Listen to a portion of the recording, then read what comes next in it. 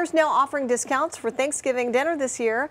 The Michigan-based grocer is offering frozen turkeys for just 33 cents per pound from now until November 30th. That means that a 16-pound turkey will cost just over five bucks.